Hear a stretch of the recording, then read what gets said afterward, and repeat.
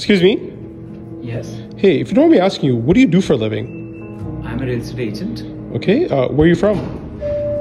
I am from Pagoda, Punjab. Okay, um, what is your name?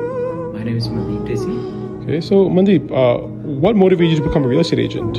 So I have seen struggle of my parents. They were farmers back home India, and when I was studying at school, they were having hard time even paying for my wanted my kids to struggle like that. I wanted to build legacy. I wanted to build wealth for them. And when I came to Canada, I realized that is the only way you can build wealth is being into real estate. I jumped into that. Now I'm building wealth not only for my family but also for so many of my clients. Amazing. Do you mind if I take a couple photos of you?